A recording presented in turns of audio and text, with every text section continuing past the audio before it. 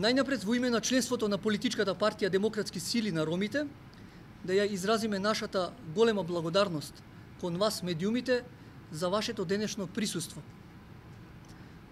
Поводот на денешната пресконференција е да ја запознаеме македонската јавност и ромската заедница околу случувањата во политичката партија Демократски сили на ромите. Имено, во изминатите години наназад, членството на партијата, а особено членовите на председателството на партијата, кои беа двигатели на партискиот елан, сила, големина и кои допринесоа за рейтингот на демократски сили на ромите, а и за стекнатиот авторитет и личното богатење на Шабан преку неговото учество во политичкиот живот во Република Македонија, беа под, под голема политичка тортура и присилба од страна на председателот Салију, кој како директор на дирекција за заштита и спасување ги користеше своите директорски предиспозиции и овластувања да внесе страв и закани по работните места на вработените членови, да удри по нивниот леп, ако не ги почитува неговите авторитарни политички ставови и скриени политички намери. Откако новата влада го разреши од функцијата директор на дирекција за заштита и спасување, волјата на членството дојде до израз – негирајќи и не почитувајќи го неговото самоволно владење како председател на партијата. Увиде опасност по своето председателување со партијата, веднаш во непон рок од 48 часа свикал некаков си конгрес. Конгрес со 50 луѓе, шетајки вечерта пред конгресот до полнокните вечерни часови, по куки, собирајќи подписи од членови кои не знаеа и самите зашто подпишуваат. И тоа, замислете, на обичен бел лист, не почитувајќи никакви законски статутарни одредби на партијата. Членството се оградува од ваквиот чин на постапување и диктаторско однесување на Шабан, кој е дискриминаторски и криминоген однос врз членството. И ние го осудуваме од причина што демократски сили на ромите не е приватно друштво на Шабан – како впрочем што преферирал во минатото, а и сега, поставувајќи лица во органите на партијата со кои во фамилиарно сродство за да си ја задржи функцијата председател на партијата. Поради злоупотреба на своите партиски овластувања, јавно бараме Шабан Салију да си поднесе оставка од партијата, зашто неговото место не е повеќе меѓу нас, а и меѓу поширокото членство на партијата и да престане со приватизирање на демократски сили на ромите, зашто ДСР е колективитет на луѓе, а не друштво со ограничена одговорност на едно лице Шабан Салију. Членството на партијата не застанува овде. Партијата е наша. Ке се избориме со сите демократски средства и механизми да го истераме до крај овој процес. А одовде упатуваме еден голем апел до големите политички партии, кои имаат намера да стапат во коалиција со демократски сили на ромите за престојните локални избори 2017 да не се доведат до заблуда. Шабан нема партија.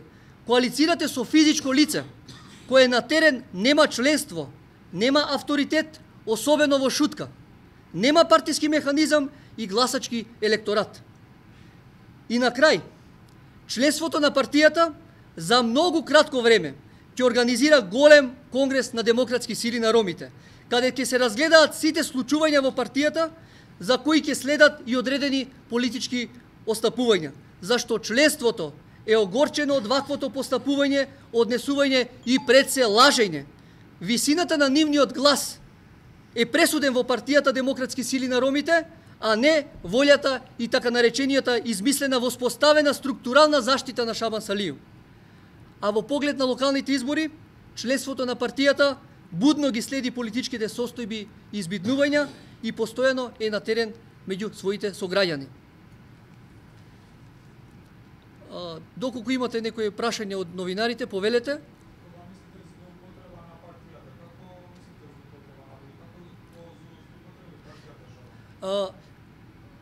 во рамки значи, на злоупотреба има одредени, одредени ситуации како се поведува Конгрес. Значи, најмалку се донесува одлука за свикување на Конгрес затоа што во овој момент демократски сили на ромите сигурно сигурно не е поголема поголема политичка партија од големите политички сили, значи од левата или десната страна во Република Македонија.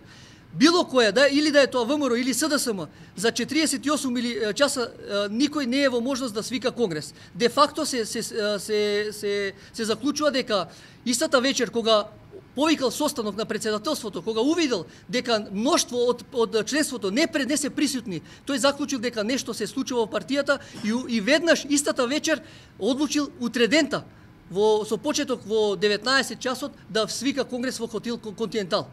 Истата вечер, значи, шетал по улици кај наши членови ги будел од спиење и ги принудува на подпишување на некој образец. Зашто подпишувале луѓето не знае. Значи тоа е како председател во рамките на своите овластувања е злоупотреба на партиските на, на, на партијата на членството.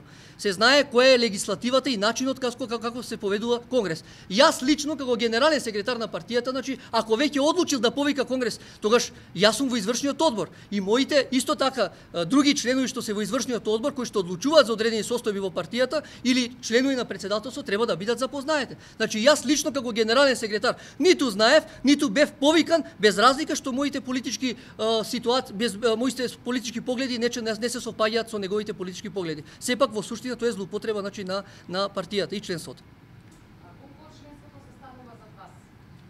Во моментот значи тоа не е фракција. Масов членството допрва веќе се запознаени со ситуацијата што се случува значи во партијата и лека по лека ни се приклучуваат во значи на од страната значи на висти од, висти, од вистинската страна на на партијата. Еве за ваша информација ќе кажеме една една ситуација увидел дека дека дека членството не му не му оди на на состаноци, па решил да направи еден, еден ајде да речеме музички хепеник. Тоа беше, ако не се лажам, во неделата, со почеток нешто во 9 или 10 часот, значи ги повика луѓето на јадење. И во истиот момент, значи и на тоа негово негово на, таков музички хепеник не присуствува луѓето, значи не може понатаму никого од членството да убеди со некои политички игри или со некои сендвичи и јадења. Одлуката е наша дека понатаму понатаму Шабан нема доверие од членството на партијата да управува со со со, со демократски сили на ромите.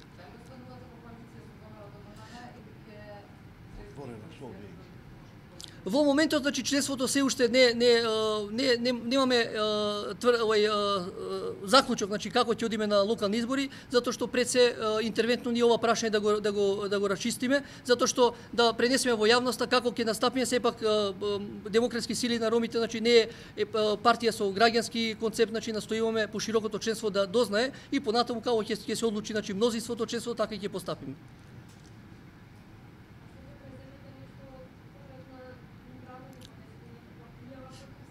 Да, значи јас се образложи во во во во, во накратко значи ние сепак конгресот е најголемиот орган кој што именува и разрешува дали е тоа член на, на или функционер.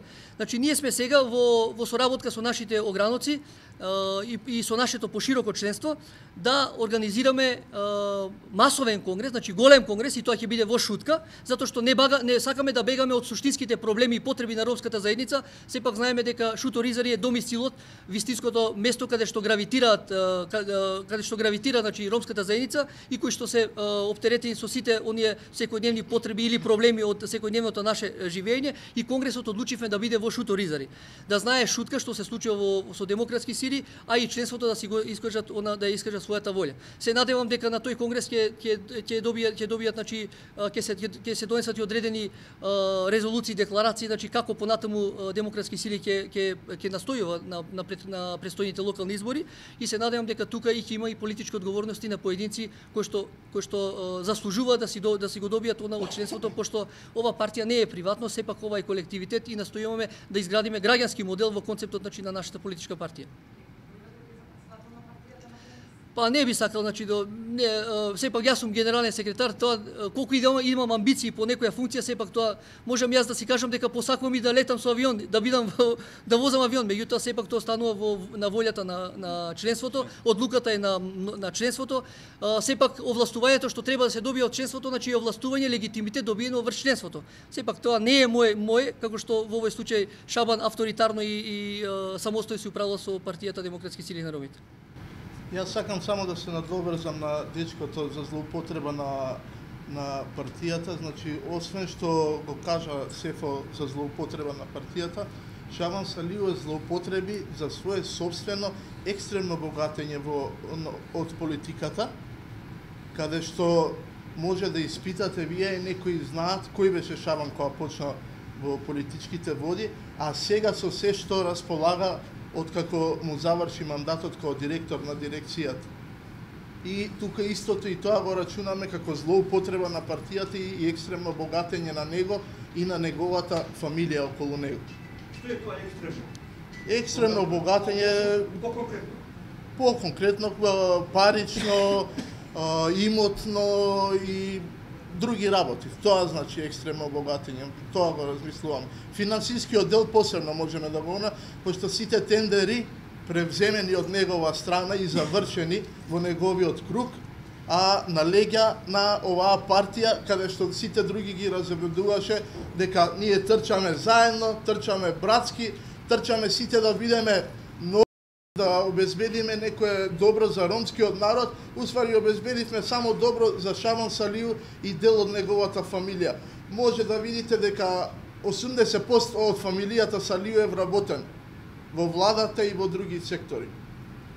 Со име, презиме Салиу, а плюс некои други што има од него вработени, па луѓе што им завршувал работа и тие за возврат ги, а, ги вработувал за да не исплаќа што треба и така натака и други работи.